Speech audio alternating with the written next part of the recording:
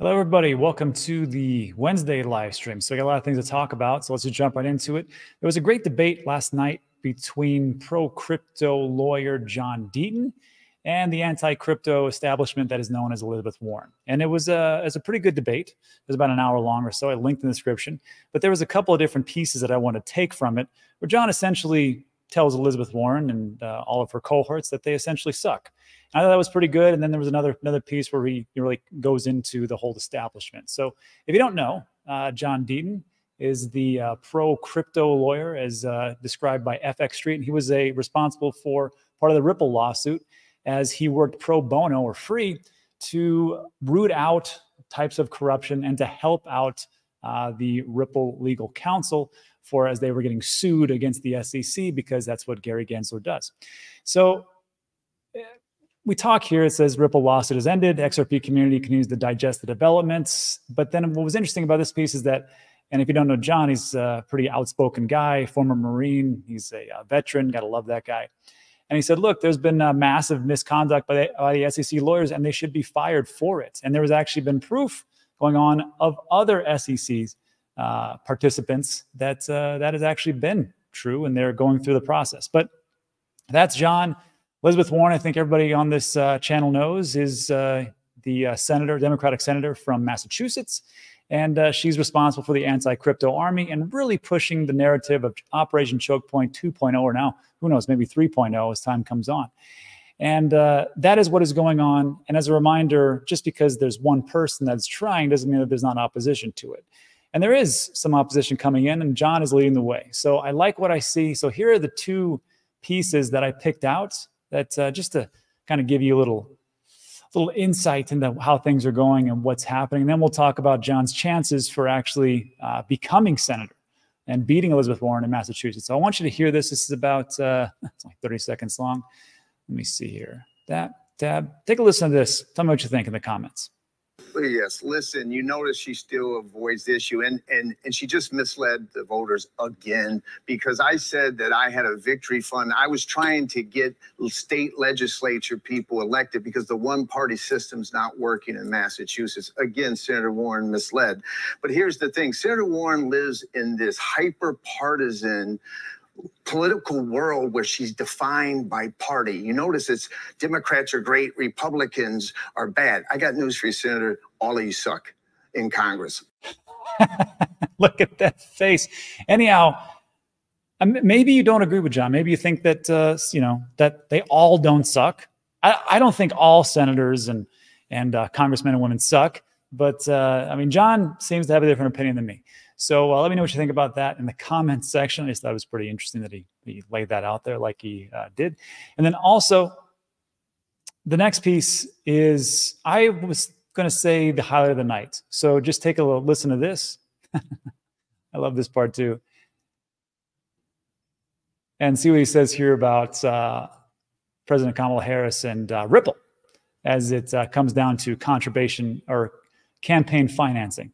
So just take a listen to this. What I don't hear you talking about is what exactly do the crypto folks expect to get by funding 90% You want to know something? Uh, everyone out there, I sued the government because the SEC had done something really bad to small retail investors, and a lifelong Democratic judge agreed with me. I did it all pro bono, and this token XRP was called legal because of my work. I won Lawyer of the Year, Consumer Advocate of the Year, Defender of Freedom Award because I did it for free. And guess what?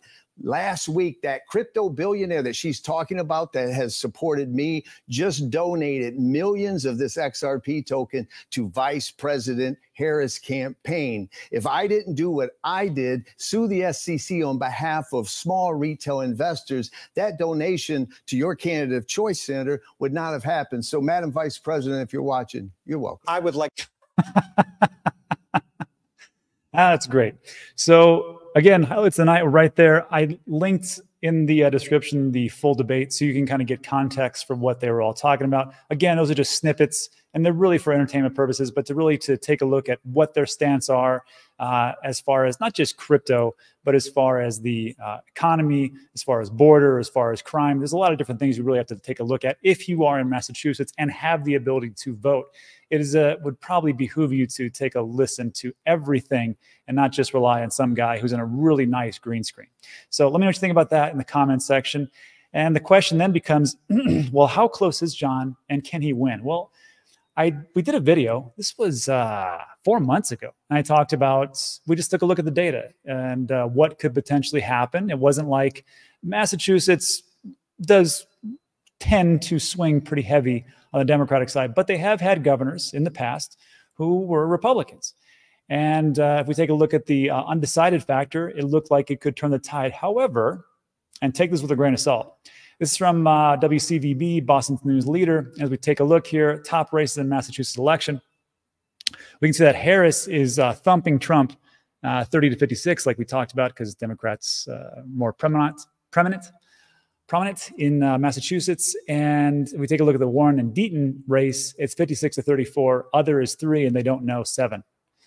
So that's what we have. But again, this poll was based on responses from 700 people surveyed between October 3rd and 10th. Margin of error is 4.8%. I would love to see new data come out to see what people thought after that debate. But again, it's up in the air. Can John win? Sure, John can win. And, uh, you know, is it a lock? Absolutely not. But the big thing is, is that he's bringing awareness to the people of Massachusetts and uh, around the country about what Bitcoin, crypto digital assets, Ripple, and XRP actually is. And it's not the big bad monster that Senator Elizabeth Warren makes it out to be. I think that is the real travesty of justice. We'll see how it works out. So let me know what you think about that. And then also, speaking of speaking of politicians, uh, Donald Trump and uh, World Liberty Finance Token. What a name, huh? WLF. So that was released uh, yesterday. And uh, here's what we have for the output. And you'd have to think, like, if it's Donald Trump, you think that, you know, this coin would do quite well. I mean, he's got millions and millions of followers. There's a lot of people who are backing him. So how is it doing? Just check this out. This is from uh, Squawk Box, uh, Joe.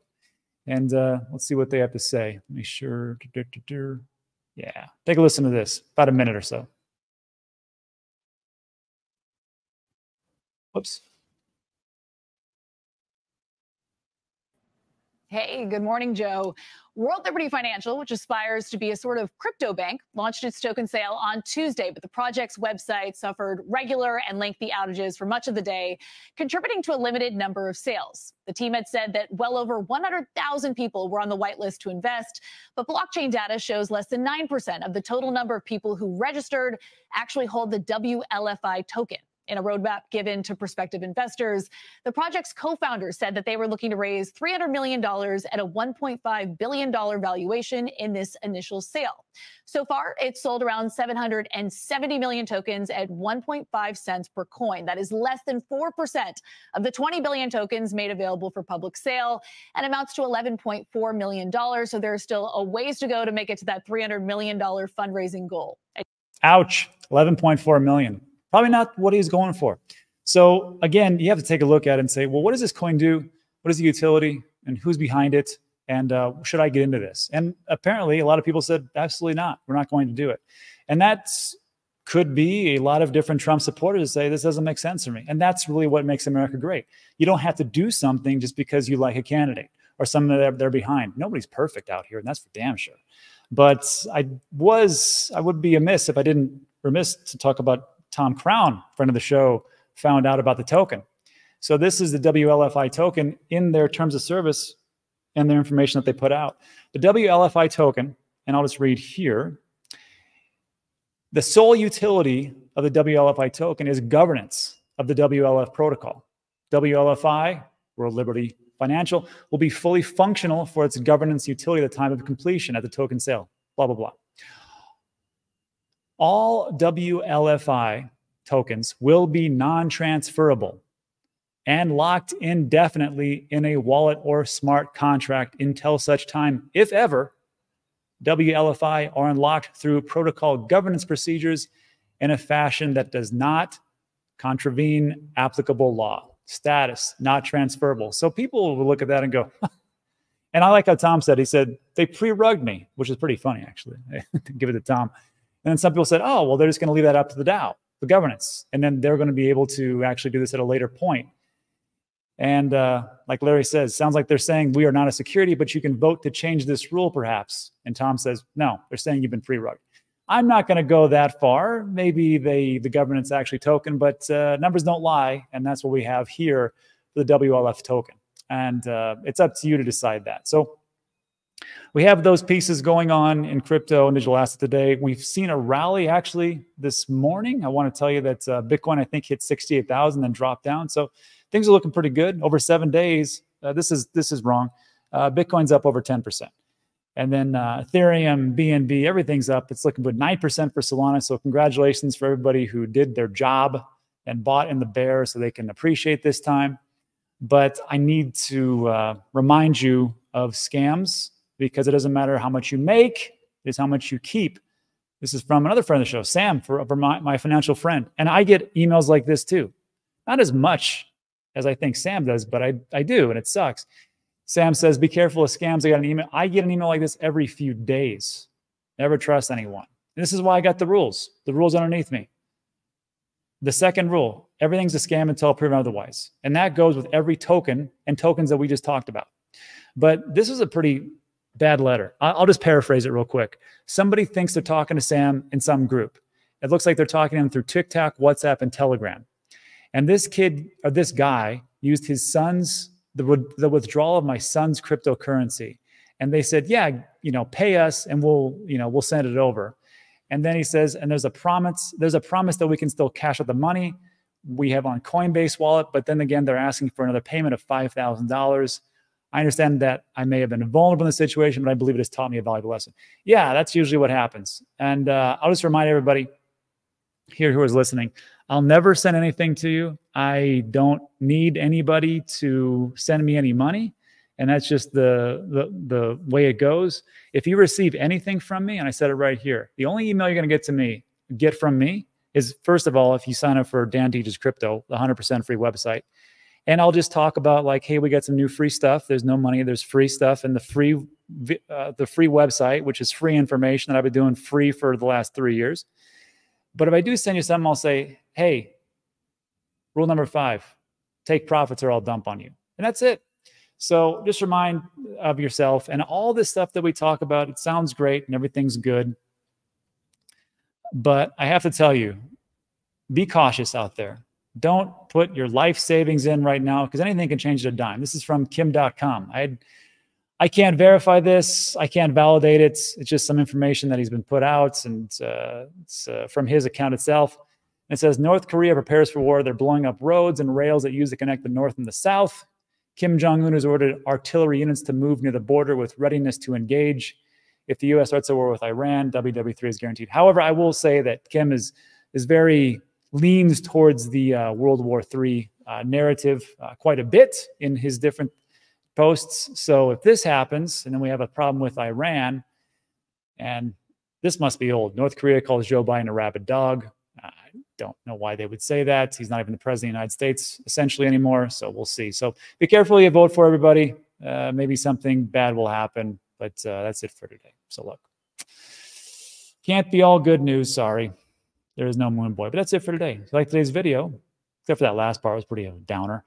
Uh, like and subscribe, all that good stuff. But if you want to stick around, I'll do a little Q&A. I'll answer all your questions the best of my abilities, and uh, we'll go from there.